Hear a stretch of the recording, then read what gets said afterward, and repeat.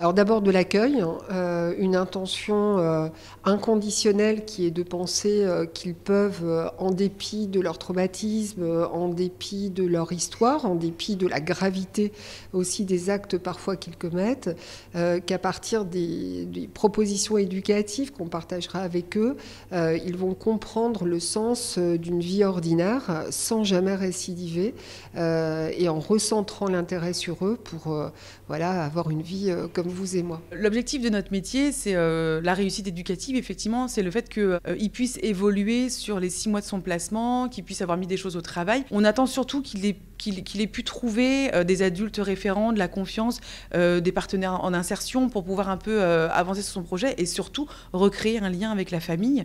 pour que la communication puisse être établie entre eux et qu'ils avancent ensemble en fait après.